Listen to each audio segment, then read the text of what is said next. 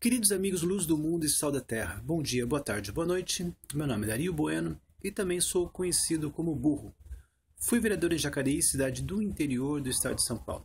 Como sempre começamos nossas conversas, bem-aventurado é o povo, o Deus é o Senhor, Salmo 144. E a grande promessa do Evangelho, se você tiver a fé do tamanho de um grão de mostarda, nada lhe será impossível. E um presente de um grande amigo meu, Oséias capítulo 4, versículo 6, por falta de conhecimento, foi destruído o meu povo.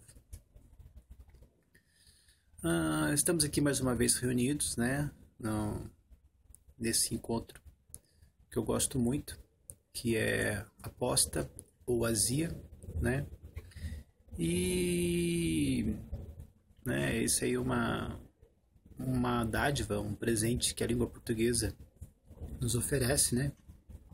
E eu fico muito feliz com a bênção de pertencer a uma nação né, que tem um idioma compartilhado com quase 300 milhões de falantes nativos, né? Então, esse é o mérito das, das gerações anteriores, né, que prepararam esse caminho, né, para que a gente pudesse ter é, eficiência e qualidade na nossa comunicação, né? São 800 anos de língua portuguesa, né? E o Brasil participa né, deste projeto com 500 anos, né? Estabelecendo uma nação moderna, ibero-americana, né? De língua portuguesa, né?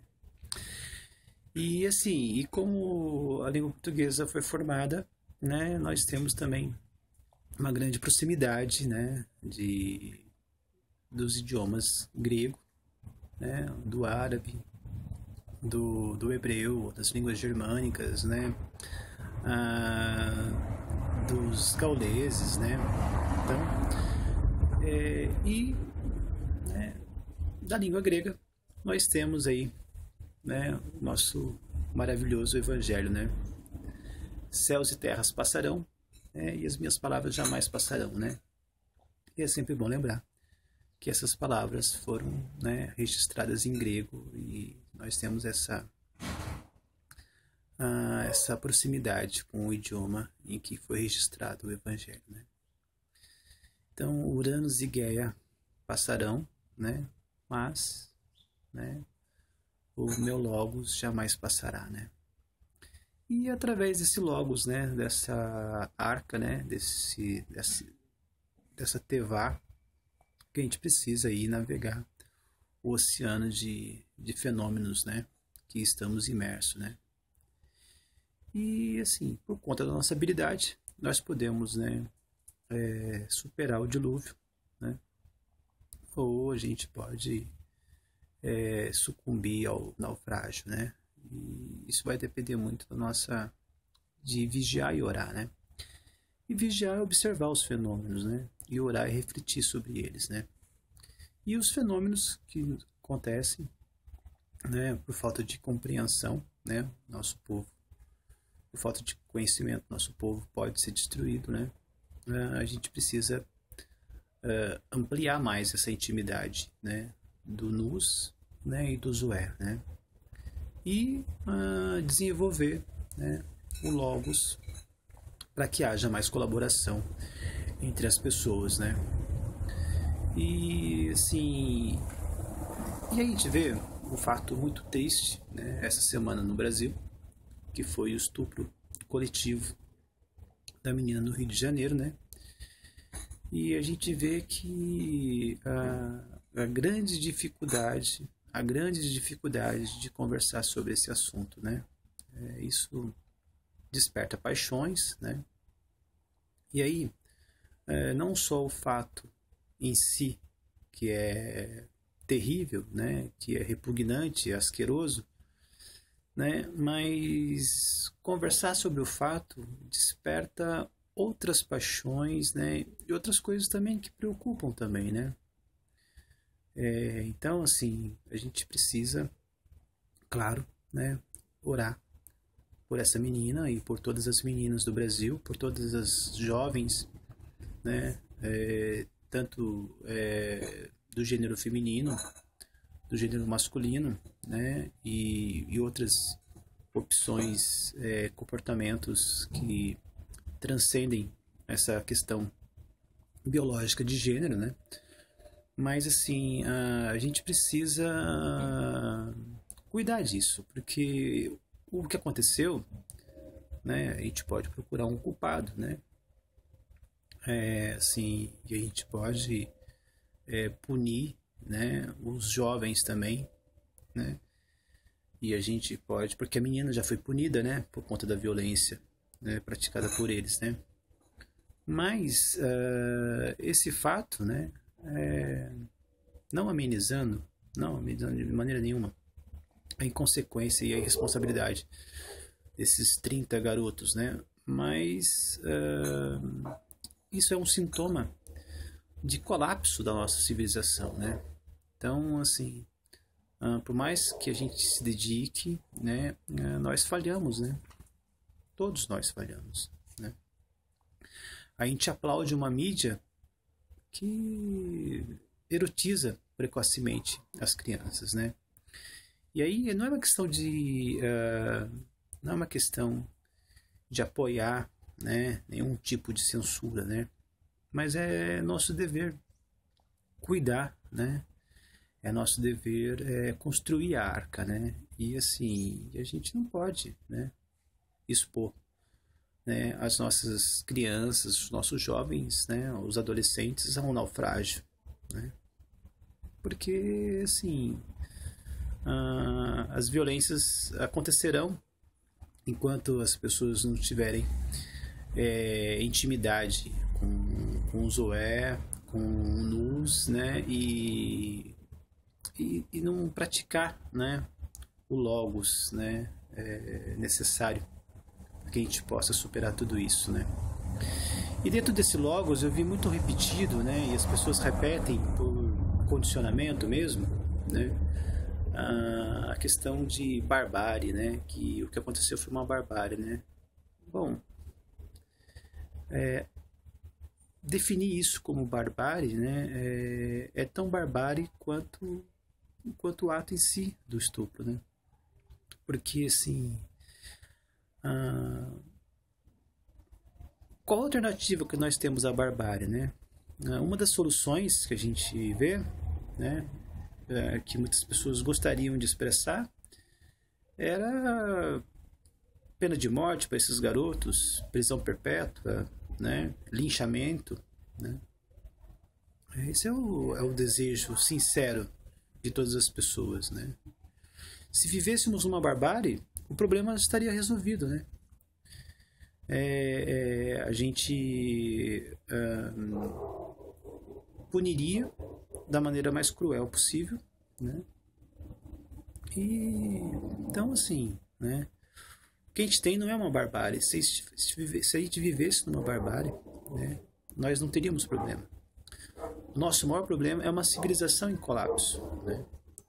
Uh, nós uh, vemos uh, tentando né, várias maneiras de, de criar um convívio é, colaborador, né, é, mais harmonioso e fracassamos, né?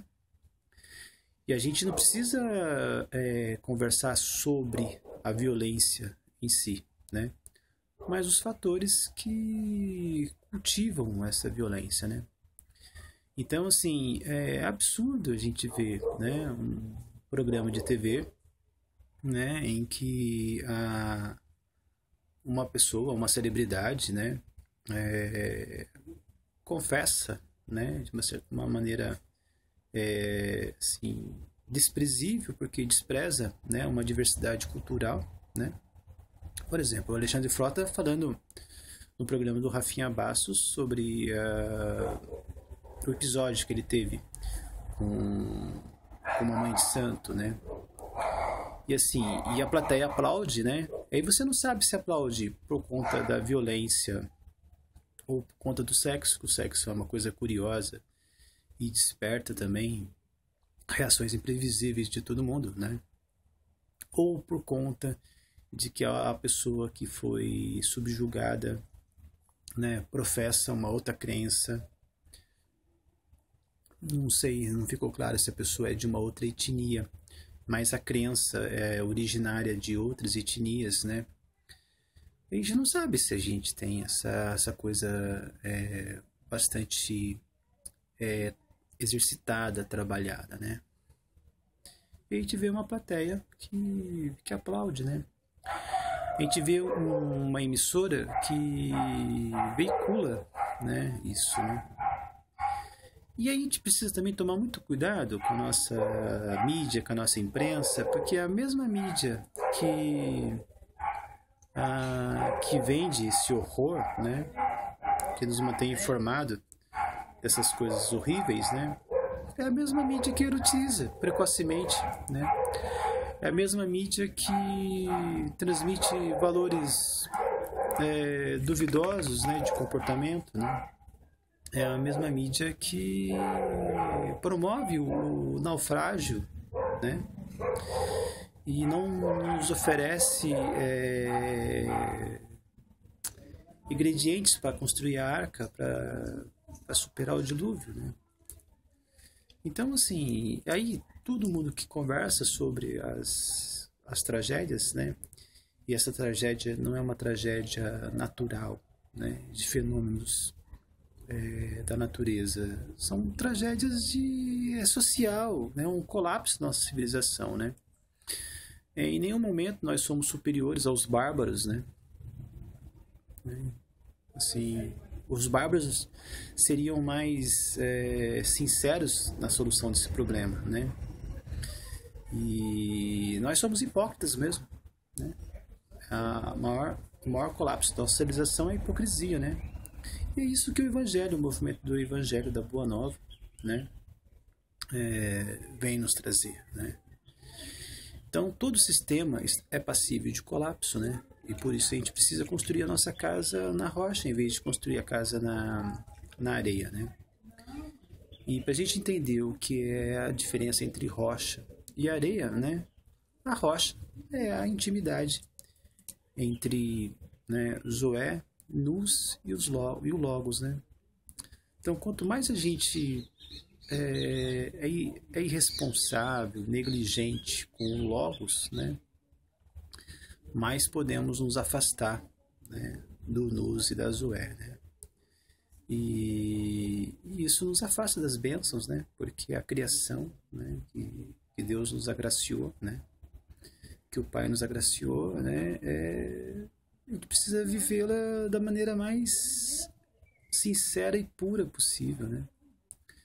Né? Então, assim, hum, isso não é né, nenhuma reflexão moralista no, no sentido de que uh, precisamos acabar, né, parar de falar sobre uh, sexo ou sobre violência, mas exercitar maneiras de falar, né? não apenas nos escandalizarmos quando a tragédia aconteça, né? mas é, transmitir né? né? o respeito, a dignidade, o carinho, né? E assim, e compreender que a gente é feito, né, de tentativas e erros, né? E na nossa biografia a gente vai ter é, com certeza um maior número de erros do que acertos, né? Mas a gente precisa, né? É, orar e refletir, né? E assim, perdoar, né? Se, na maneira do possível, diante da nossa compreensão, né? E assim, exigir, né, um comportamento mais digno, né, da nossa mídia, da nossa imprensa, né? Para que a gente possa construir uma arca que, que a gente possa, né, produzir bons frutos com nosso comportamento, né? Então, que a gente não se omita mais na construção dessa arca. Caros que para todos vocês, isso é graça e verdade, e a gente continua falando com respeito e doçura sobre todas essas coisas, porque é do Pai, o universo, o dinamismo e a mais elevada honra. Assim seja, para o bem do nosso querido Brasil.